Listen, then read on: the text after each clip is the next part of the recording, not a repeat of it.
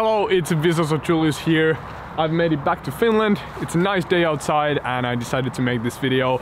Um, so today I'm gonna teach you how you can remove heavy noise from your images. So you know when you're out shooting and it gets a bit dark outside, you have to boost that ISO up in order to get more detail in dark. But the problem when you boost that ISO is that your images tend to get a lot noisier and today is all about how you can remove that noise afterwards. So without further ado, let's get into my office and start removing some noise and clean up our photos. So, this is my office for the people who don't know. It's super tiny. As you can see, only a couple square meters. There's a lot of like setting up with all the lights and everything so I can film here. But without further ado, let's move into my screen and uh, get into this tutorial.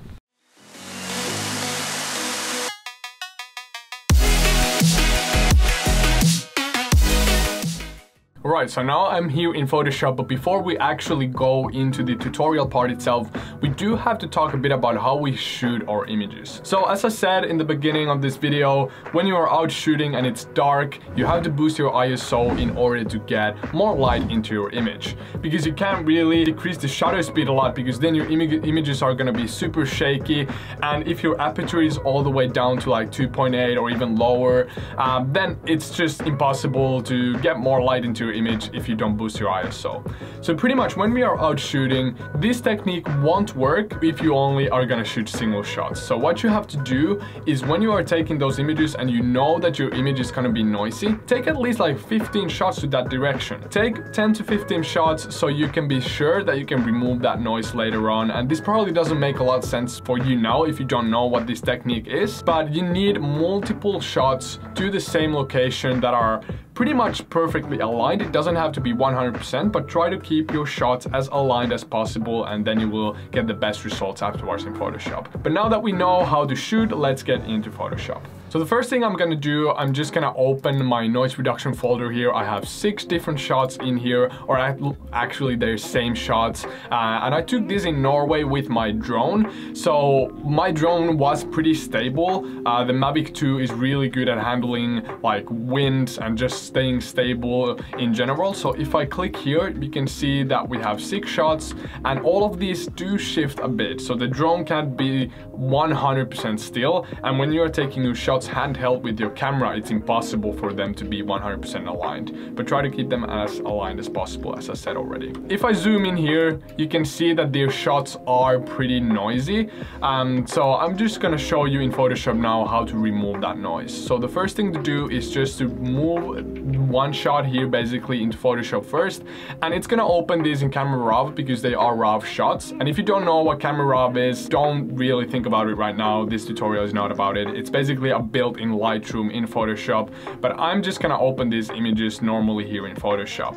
And I'm just gonna bring all of these rest shots here and hit OK enter, hit OK, enter. All right, so now that we have opened all of our shots, you can see that these are turned into smart objects. And we are not gonna go too in depth with smart objects in this tutorial, but basically smart objects are layers that contain more information. They have way more capabilities in Photoshop, but pretty much what we have to do first is to auto align these layers. So we have to align all these layers because if I click on and off, you can see that there is a slight change in every single shot. Uh, so in order for this technique to work, all these images need to be aligned. But we can't align them if our images are a smart object. So what we have to do is hold shift on our keyboard and just select all these layers. And then I'm gonna click with my right mouse button and hit rasterize layers. And what this does, it just gets rid of the smart object. And now what we can do, we can come up here to edit edit and here from the edit, we are gonna hit auto align layers. And remember, if you have smart objects in your shots, you can't auto align them, you have to rasterize them first. So now when I hit auto align layers, what we can do, we can just select the auto here. Photoshop is pretty good at detecting and automizing things.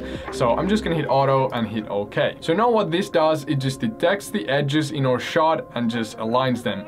And as you can see, now that it aligned it, you can see that there is a slight white outline here because it move the shots a bit to align them. Um, so now if I hit this on and off, you can see that our shots are nicely aligned. So if I just click this on and off, the only thing shifting in these shots is the noise level. So one thing, every single time you take a photo, the noise level is gonna be different. So if I click this on and off, you can see that it's the same photo, but the noise is in different places. So now what we need to do in Photoshop is to combine all these layers in a way that Photoshop will detect the different noise places where there is noise and where there isn't, and then it's gonna create a median or like a average image from that. So it's gonna just detect the places where there is no noise and then with that remove it. It might sound a bit complicated, but that's basically what it does. But now at this point, what we have to do is turn all of these images into a smart object, actually into one smart object.